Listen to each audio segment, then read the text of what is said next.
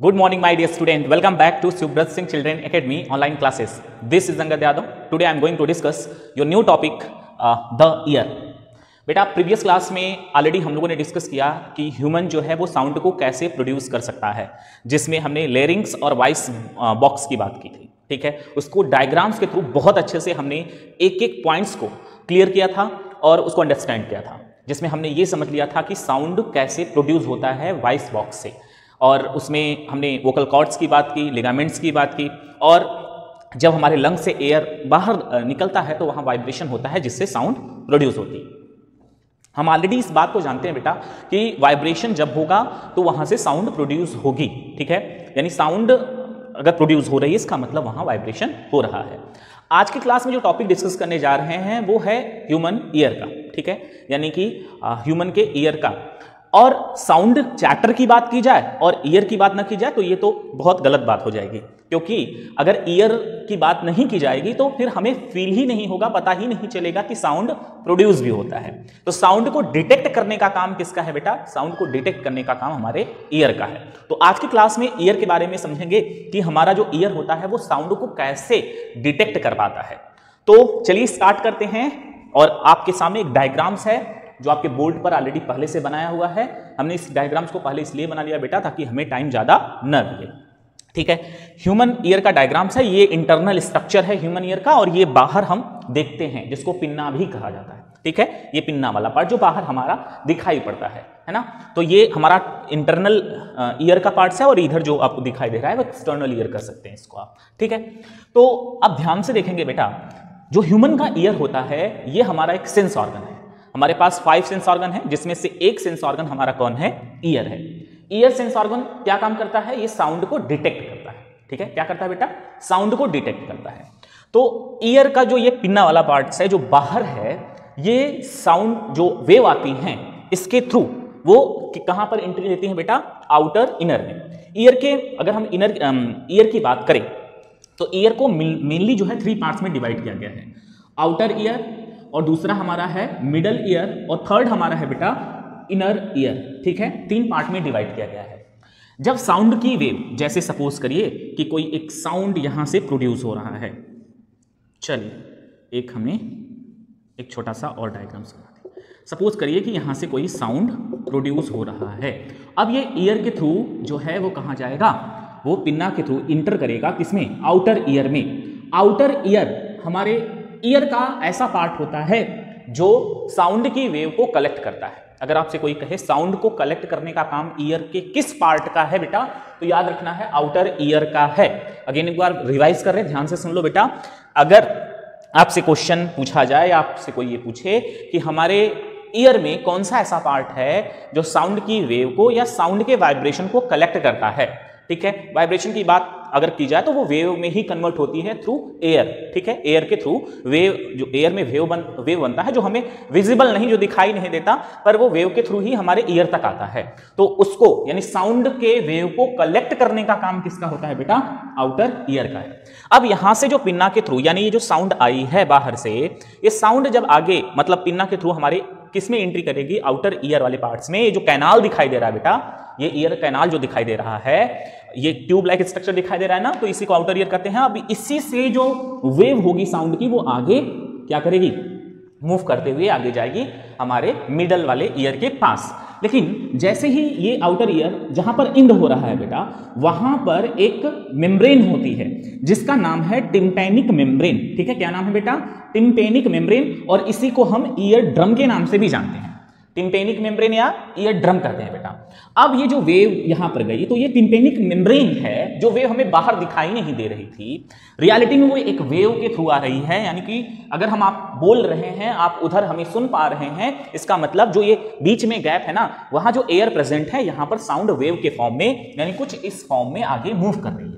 अब ये मूव करते हुए जब इस ईयर ड्रम यानी टिम्पैनिक मेम्ब्रेन के पास पहुंचेंगी, जो ये वाला पार्ट दिखाई दे रहा है बेटा यहाँ पर होता है वाइब्रेशन वेव मेम्ब्रेन है मेम्ब्रेन पे वेव जब जैसे ही पड़ती है, वैसे ही होगा उसमें क्या? वाइब्रेशन अब इस ईयर वाले पार्ट को ज़्यादा डिटेल में बनाए नहीं, क्योंकि ये बायोलॉजी का पार्ट है और अभी हम पढ़ रहे हैं प्रेजेंट टाइम में फिजिक्स ठीक है? लेकिन फिर भी मैक्सिमम पार्ट यहाँ पर ड्रॉ किए गए हैं। अब इस ईयर ड्रम से बेटा तीन बोन हमारे ईयर में थ्री बोन्स होती हैं, ठीक है? मैलियस इनकस स्टेपिज ठीक है? मैलियस इनकस और स्टेपिज और आप सबको पता है कि हमारी पूरी बॉडी की सबसे स्मॉलेस्ट बोन कौन सी है? कौन सी है? चलिए कमेंट बॉक्स में राइट करके बताएँगे, हमारे बॉडी की सबसे स्मॉलेस्ट बोन कौन सी है। अब देखिए ध्यान से बेटा ईयर ड्रम जो होता है, यानी टिम्पैनिक मेम्ब्रेन जो है बेटा, वो इस वाले प्लेस पर, आप जो दिखाई दे रहे हैं टिम्पैनिक मेम्ब्रेन जब इसमें वेव का वेव इस पर यहाँ तक पहुँचती है तो इसमें होता है वाइब्रेशन और ये जो तीन बोन है, इस ईयर ड्रम से, एक एक बोन एक दूसरे से क्या होती है बेटा अटैच होती है। ठीक है? मैलियस इनकस स्टेपिज जो ये क्या होती हैं, एक दूसरे से अटैच होती हैं। अब इस वाले पार्ट को, बेटा, इस वाले पार्ट को कहा जा रहा है मिडल ईयर मिडल ईयर वाले पार्ट में ही हमारी बोन ठीक है? अब ये जो मैसेज है, यानी जो वेव है, वो ईयर ड्रम के थ्रू चला गया बोन्स के थ्रू मतलब ईयर ड्रम के थ्रू वो पहुँचा कहाँ पर बेटा? मिडल ईयर में, और मिडल ईयर में कौन से पार्ट है? हमारी जो बोन्स हैं तीन, वो होती हैं। और ये मैसेज को ट्रांसफ़र कर दी बेटा किसके पास? इनर ईयर के पास। यहाँ देखिए अटैच है ना ये बोन ये इनर ईयर का पार्ट है। यहाँ पर इसको ये मैसेज अटैच मतलब ये मैसेज सेंड कर दिया गया। जिसे, ठीक है? इसको हम क्लोकिया भी बोलते हैं कॉकलिया ठीक है? तो इस इनर जो हमारी बोन्स है, वो मैसेज को ट्रांसफ़र कर दी इनर ईयर के पास। अब जो इनर ईयर है, इस इनर ईयर में लिक्विड प्रेजेंट होता है। बेटा, क्या होता है? उसके अंदर लिक्विड होता है। ठीक है? अब अब वो जो वेव आ रही थी, ड्रम से, इस ईयर ड्रम से टकराई ईयर ड्रम जो है, उसके बाद बोन्स को क्या किया बेटा? पुश किया उसने। और बोन्स जो तीन, तीनों थी, वो जो है, वो हिट कर दी किसको जाके? इनर ईयर वाले पार्ट को, है ना? एक दूसरे से कनेक्ट होते हैं। तो वो ear, inner inner, sorry, inner ear वाले पार्ट को उसने क्या कर दिया बेटा? यहाँ पर इनर ईयर वाले पार्ट को उसको क्या कर दिया इसने? उसको उन्होंने हिट किया, ठीक है? और जैसे ही हिट करेगा इनर ईयर के अंदर है बेटा लिक्विड प्रेजेंट क्या प्रेजेंट है? लिक्विड प्रेजेंट है। और जब वो जो लिक्विड की बात की जाए तो उस लिक्विड में होता है क्या? उस लिक्विड में वेव हो जाती है। जैसे अगर हम कहें, एक पॉन्ड है छोटा सा, उसमें आप एक छोटा सा पत्थर फेंक दो तो उसमें वेव आपको दिखेंगी। वैसे ही हुआ है जो बोन्स है, जैसे ही इनर मेम्ब्रेन वाले पार्ट्स को यहाँ पर हिट करती हैं, वैसे ही उस लिक्विड के अंदर बेटा वेव स्टार्ट हो जाती है। अब उस वेव की वजह से उस इनर ईयर के अंदर इनर ईयर का जो पार्ट्स है, इसमें छोटे छोटे हेयर पाए जाते हैं बेटा, ठीक है? इसमें हेयर होते हैं। जब लिक्विड में लिक्विड में अगर वेव स्टार्ट होगा तो क्या? इस जो हेयर है, ठीक है? ठीक है, जो इनर मेम्ब्रेन में सॉरी इनर ईयर में जो हेयर है, उसमें भी तो वेव होगा।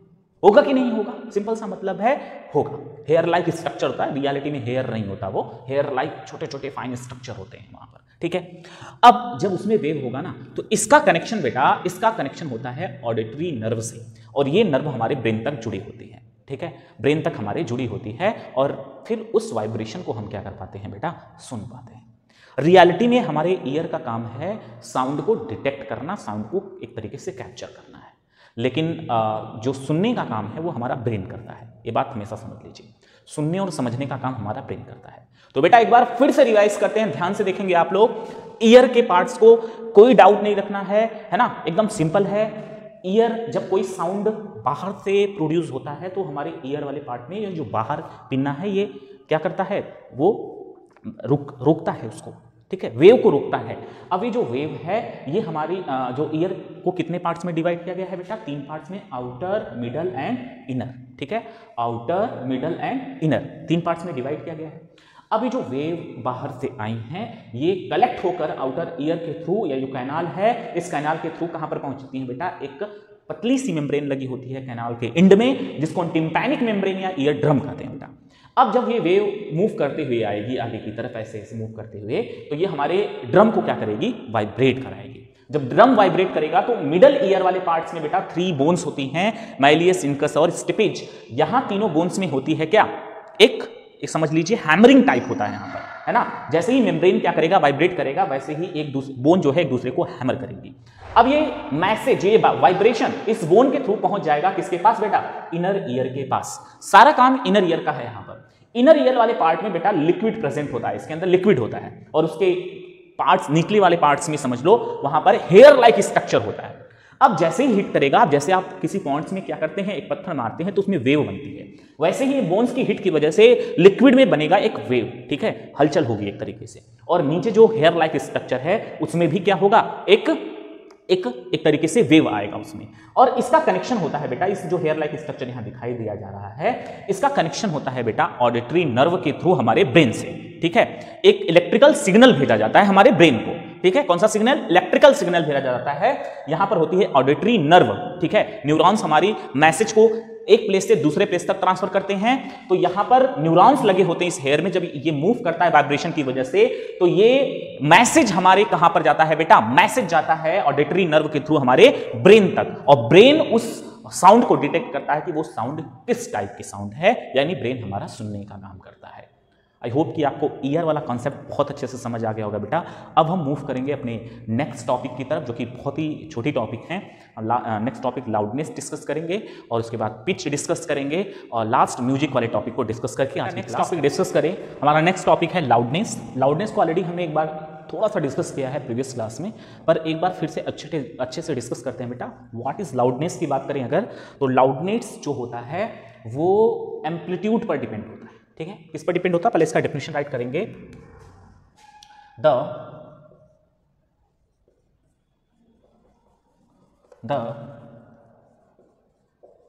loudness of the sound sound depend upon depend upon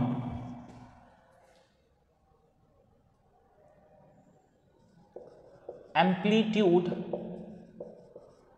of vibration amplitude of vibration ठीक है? यानी कि साउंड की जो लाउडनेस है बेटा, वो एम्पलीट्यूड पर डिपेंड करती है। अगर एम्पलीट्यूड ज़्यादा होगा तो लाउडनेस क्या होगी? ज़्यादा होगी। और अगर एम्पलीट्यूड कम होगा तो लाउडनेस जो होगी, वो फीबल होगी। ठीक है? यानी जो साउंड होगी, वो फीबल होगी। अब ये एम्पलीट्यूड वाले कंसेप्ट को समझ लो बेटा। जैसे अगर हम कहें कि एम्पलीट्यूड और लाउडनेस का आ, क्या जिसमें हमने प्रीवियस क्लास बताया ये वाइस वर्षा है। एम्पलीट्यूड बढ़ा दो लाउडनेस बढ़ जाएगी लाउडनेस बढ़ा दो एम्पलीट्यूड बढ़ जाएगा। ठीक है? इसको समझते हैं इस छोटे से डायग्राम्स के थ्रू। एम्पलीट्यूड क्या है? हायर मतलब एक हायर डिस्टेंस की बात की जाती है डिस्प्लेसमेंट की बात की जाती है। ठीक है? जो ऑसिलेशन बॉडी है वो अपने लॉन्गेस्ट या हाईएस्ट डिस्टेंस कवर कर ले वो उसी का वो क्या होता है? वो एम्पलीट्यूड होता है। तो यहाँ पर देखेंगे ध्यान से अगर एम्पलीट्यूड कम होगा। अगर ऐसे इस तरीके का वेव बन रहा हो, ठीक है?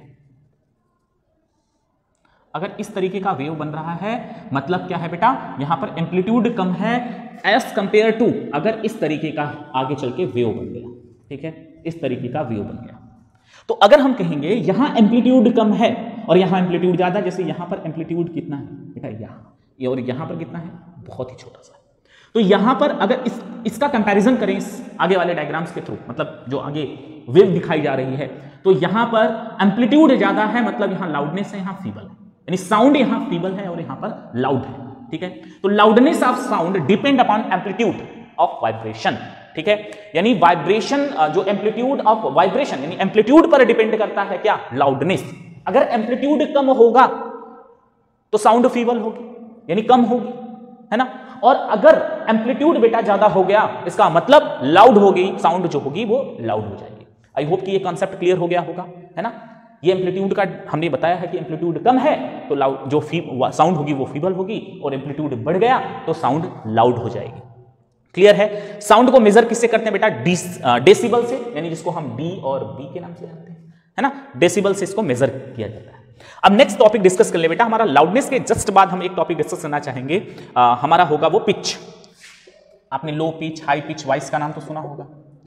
पिच पिच के बारे में डिस्कस करें तो पिच का कुछ कुछ पॉइंट जो है लाउडनेस से मिलते हुए हैं पर इसको भी पहले डिफरेंस कर लेते हैं है क्या पर? ठीक है। तो the pitch of sound the pitch of the pitch of sound depend upon depend upon frequency of vibration frequency of vibration यहाँ पर बेटा लाउडनेस एम्पलीट्यूड पर डिपेंड है और पिच जो है फ्रीक्वेंसी पर डिपेंड है। फ्रीक्वेंसी का मतलब क्या है? जैसे सपोज़ करो कि हम बोल रहे हैं या कोई एक मेल और फीमेल कंपैरिजन करें। और हमने कह दिया कि एक, यहाँ एक डायग्राम्स हमने बना दिया। चलिए, एक सिंपल डायग्राम्स बनाते हैं। ठीक है? एक फीमेल और यहाँ पर एक मेल इसने साउंड प्रोड्यूस किया।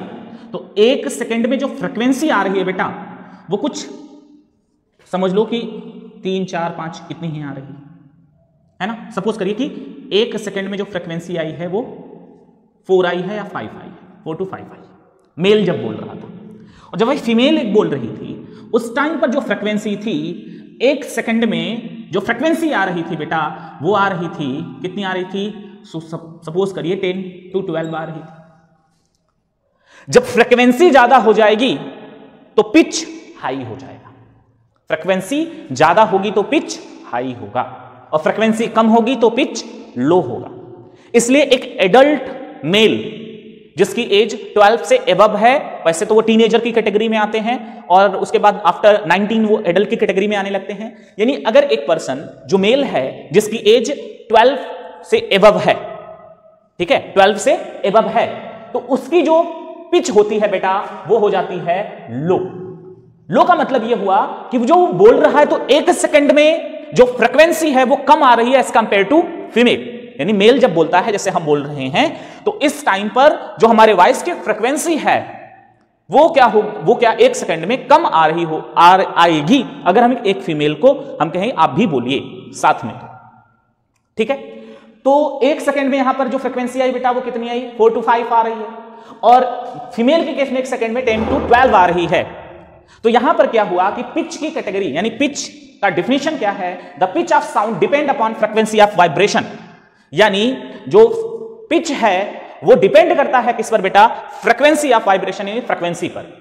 तो अगर आपसे क्वेश्चन ये कर ले कि ड्रम लो पिच है या हाई पिच जो ड्रम बजते हैं, शादी में आप लोगों ने देखा होगा मैरिज में किसी के बजते हुए। तो जो ड्रम की फ्रिक्वेंसी होता है, होती है बेटा, वो लो पिच होती है। हमारी फ्रिक्वेंसी भी क्या है? लो पिच है। यानी हम जब भी कुछ बोलते हैं और हमारी कम, हमारा कंपैरिजन अगर एक फीमेल से कराया जाए तो जित जित हम जब बोलेंगे तो जो फ्रिक्वेंसी आएगी फीमेल की कंपैरिजन में हमारा कम होगा इसलिए हमारी वॉइस लो पिच होती है और फीमेल की वॉइस क्या होती है? हाई पिच होती है। आई होप कि ये पिच वाला कॉन्सेप्ट क्लियर हो गया होगा लाउडनेस वाला कॉन्सेप्ट क्लियर हो गया होगा। अब एक जो लास्ट टॉपिक है बेटा वो हमारा है म्यूज़िक ठीक है? लास्ट टॉपिक हमारा क्या है बेटा? म्यूज़िक आज का लास्ट टॉपिक है म्यूज़िक म्यूज़िक क्या है? एक टाइप का ये भी है वाइब्रेशन एक टाइप का ये भी है साउंड जो कि क्या करता है ये? प्लीजेंट सेंसेशन देता है हमारे ईयर को। क्या करता है बेटा? प्लीजेंट सेंसेशन प्लीजेंट सेंसेशन किसको देगा बेटा? हमारे ईयर को। ठीक है? Pleasant sensation on the ear ठीक? जब आप स्ट्रेस में होते हैं या आपको कुछ अच्छा नहीं लग रहा तो उस टाइम पर म्यूज़िक सुन रहे होते हैं। होता है ना ऐसा? म्यूज़िक सुनते हैं, हम भी सुनते हैं, बहुत लोग सुनते हैं म्यूज़िक तो म्यूज़िक क्या है? म्यूज़िक है बेटा प्लीजेंट सेंसेशन देता है। म्यूज़िक एक टाइप का क्या है? साउंड ही है, जो प्लीजेंट सेंसेशन यानी हमें एक गुड फील कराता है। किसको? हमारे ईयर को ऐसा फील होता है अच्छा लग रहा है है ना? तो pleasant sensation on the ear यानी हमारे ईयर को प्लीजेंट सेंसेशन देता है कौन? म्यूज़िक अगर हम कहें कि एक एक ऐसी प्लेस पर चले गए आप, जहाँ पर नॉइज़ ज़्यादा है, चिल्लाया जा मतलब बहुत बहुत ज़्यादा मोटर कार्स हैं या साउंड ही बहुत ज़्यादा तेज़ी के साथ बज रहा है तो वहाँ पर नॉइज़ हो जाता है। लेकिन म्यूज़िक जो है वो स्लो होता है है ना? अपने कान में हेडफोन एयरफोन लगा कर क्या करते हैं, सुनते हैं तो हमारे माइंड को एक सुकून मिलता है। यानी हमें प्लीजेंट सेंसेशन मिलता है। कौन? म्यूज़िक तो म्यूज़िक के कई सारे इंस्ट्रूमेंट हैं। म्यूज़िक कैसे प्रोड्यूस होता है? इंस्ट्रूमेंट के थ्रू प्रोड्यूस होता है।